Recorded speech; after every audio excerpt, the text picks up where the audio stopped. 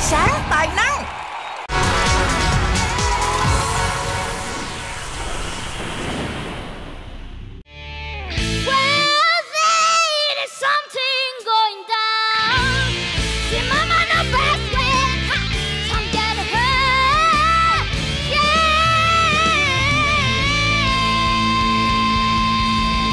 nghĩ rằng là con luôn luôn là một thí sinh mà âm thanh chuẩn xác 100%.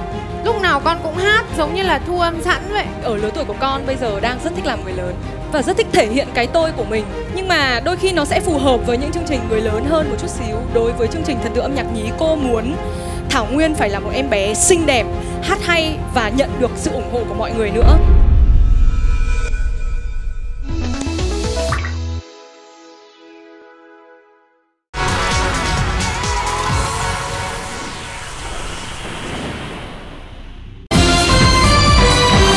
Tùng Quân